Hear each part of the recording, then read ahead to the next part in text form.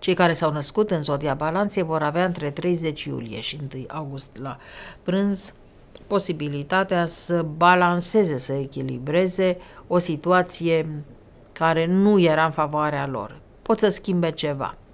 Dintr-un conflict real între ei și, eu știu, conducere sau colegi, să se ajungă la o realitate și la o relație amiabilă, mai puțin contundentă, mai confortabilă, ori cel puțin mai civilizată. Dar sunt și aspecte bănești care nu mai intră în acest con de influență astrală și atunci sigur că este vorba de dezamăgire, de concluzia tristă. Fie că au fost păcăliți, li s-a promis una, în contract e alta, în momentul când s-au dus la caserie sau s-au dus la bancă și au văzut ce bani le-au intrat în cont, au constatat iarăși o altă discrepanță, un lanț întreg de nereguli, nelămuriri, erori sau chiar păcăleli pe care ei vor să le reglementeze, le invocă, le aruncă drept niște contraargumente celor responsabili direct în cap. Tu ești de vină, de la tine se trage, etc. Discuții destul de puțin plăcute pe teme financiare, pentru că le conțin, pe de-o parte, sintagma nemulțumire, revoltă, furia de a fi fost păcălit, uh, incapacitatea de a accepta sau de a se supune acestei stări de lucruri și incapacitatea de a se abține să nu spună lucrurilor pe nume, adică le vor spune acelora și ceea ce cred despre ei, deși în acel moment nu despre asta era vorba. Mută discuția de la bani la caracter. În loc să spună vreau acești bani în contract scrie cu tare, îi zice habar n-ai de meserie. Prin urmare, astea sunt uh, reacții care, umane, care sunt firești, dar nu sunt tipice balanței. Deci aș spune că e un soi de derapaj. Balanțele patinează la acest capitol, Mercur nu este cel mai bun sfătuitor, pentru ei, este retrograd și se amestecă orgoliu cu vanitatea, cu nemulțumirea, cu stresul și cu convingerile proprii și iese așa un soi de uh, mărturisire publică a ceea ce cred despre unii, dar și despre propria încurcătură, care nu creează uh, o imagine bună. Ar trebui să se limiteze strict la subiectul principal în aceste zile. Apoi, rostirea sentimentelor și convingerilor despre unii și alții pot să o facă oricând, dar nu acum. Între 1 august, după amiaza și 3 august, relațiile parteneriale nu sunt extrem de importante, nu sunt nici extrem de favorabile. Aș spune că pentru balanțe există șansa unei întâlniri ratate sau neșansa de a se înțelege dacă totuși se întâlnesc cu o persoană.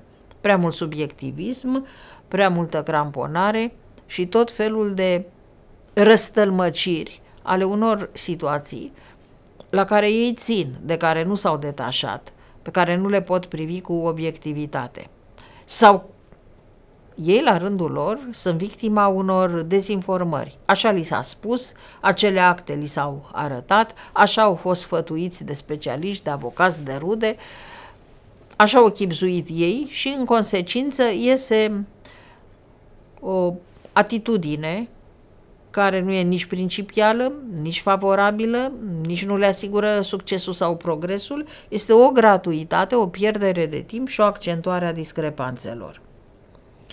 Între 4 și 5 iulie, posibilitatea de a intra în posesia unor lucruri de mică valoare, dar uh, care nici măcar nu le fac foarte multă plăcere. Nu îi bucură ca altă dată. Când spun de mică valoare, poate să fie, uh, eu știu, un cadou, niște flori, o atenție ca formă de manifestare mai mult a recunoștinței decât a simpatiei sau a sentimentelor.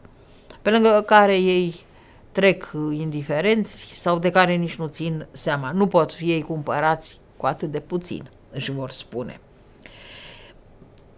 E ceva însă, subzistă de foarte mult timp pe această axă a banilor și câștigurilor o dimensiune a incorectitudinii. Uneori ea poate fi intuită de unde vine, de la ceilalți, sau a abuzului, ea poate fi intuită de unde vine prin legislație sau aplicare incorrectă a unor texte de lege și acte normative, a unui comportament, a unei premize greșite, etc. Acum, este tot atât de clar că tot ceea ce se întâmplă pe harta lor este de natură să îi îndepărteze de adevăr. Din păcate, nici nu vor înțelege despre ce e vorba, nici nu vor ajunge la esența lucrurilor, nici nu se află cineva în preajma lor să le deschidă ochii.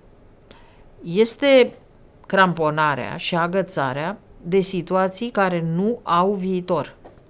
Din această perspectivă, cred că lucrurile stau mai grav decât își dau seama, sunt mai acute, mai importante, mai reale și mai imperios necesar să fie rezolvate.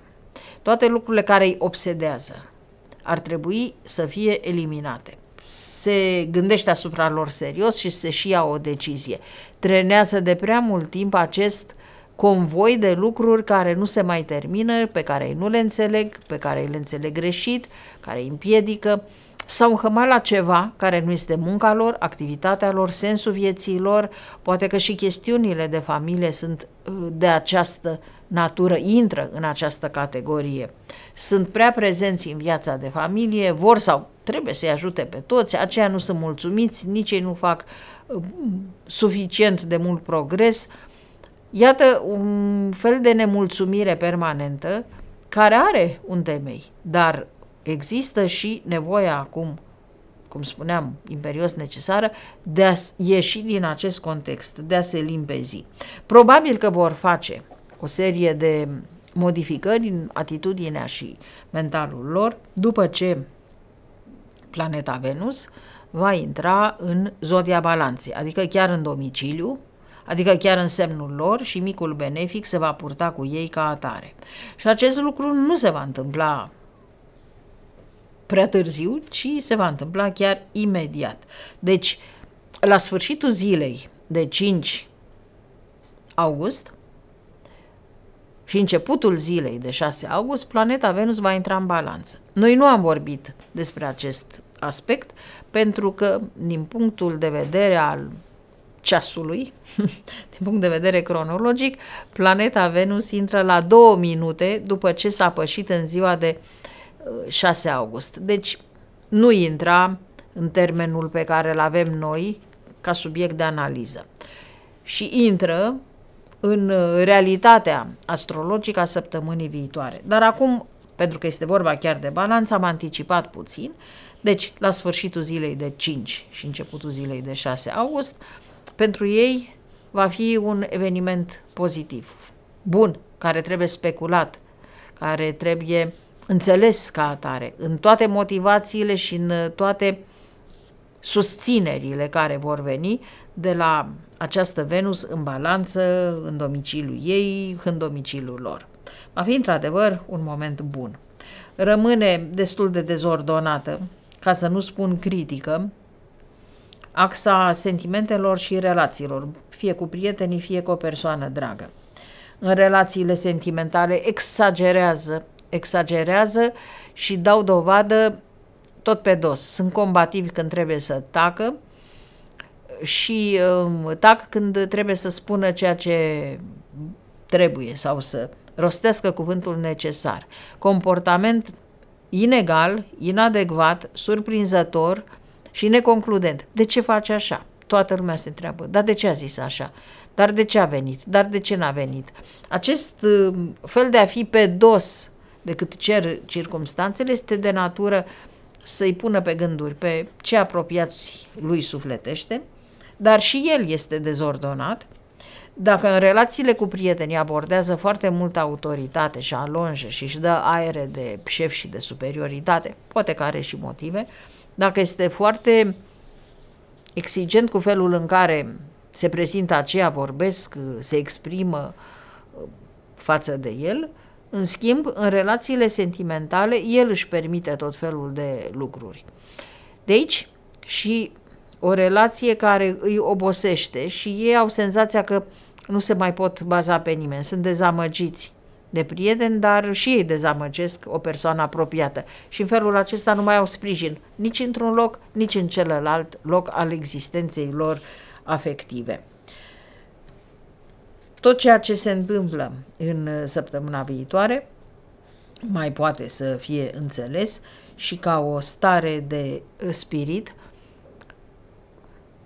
specială, rezultată din presiunea pe care o exercită asupra lor planetele din Capricorn în subtext sau în surdină sau în mod discret. Nu sunt ei foarte lămuriți de unde vine, dar simt că vine o apăsare și o nemulțumire.